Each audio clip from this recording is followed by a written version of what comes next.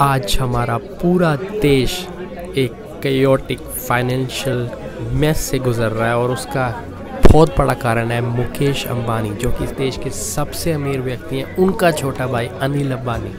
और सभी चुप हैं इस मुद्दे के ऊपर। पता सबको है, पर कोई कुछ नहीं बोल रहा और पिछले साल से ये खबरें आनी शुरू हो गई थी, करीब तेरह हज़ार करोड़ रुपए का कर्ज अनिल अंबानी की कंपनियों पर है जो उनको येस बैंक को चुकाना है, पर अब वो मुमकिन होता नहीं दिख रहा। और सरकार, सभी पार्टी इसके बारे में चुप है, क्योंकि सभी के बहुत ही अच्छे संबंध हैं मुकेश अंबानी से। इवन मीडिया हाउसेज से काफ़ी अच्छे संबंध हैं।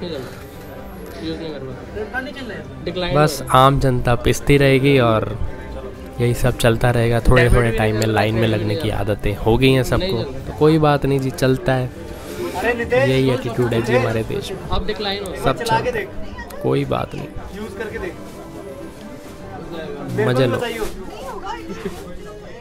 सर आप जरा सोच के देखिए कि यही बैड लोन अगर किसी बीजेपी या कांग्रेस के किसी भी नेता ने किया होता तो दिन रात महीनों तक उस नेता की खबर पूरे चैनलों में इंग्लिश, हिंदी तबाह तब चलती रहती।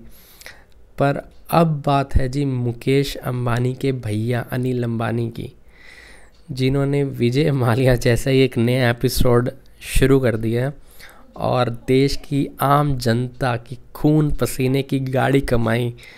अब पता नहीं अब क्या होगा, उन बेचारों का। तो बस लाइन में लगने के आदि आदि हो गए हैं। और एक उम्मीद और होप जो आज हमारे देश की फाइनेंस मिनिस्टर ने उनको दिए कि आपका पैसा सेफ़ है। बस उसी होप के सारे सो जाएँगे बेचारे और कल शायद फिर से लाइन में लगने वापस आ जाएँगे। तो बस यही सब है।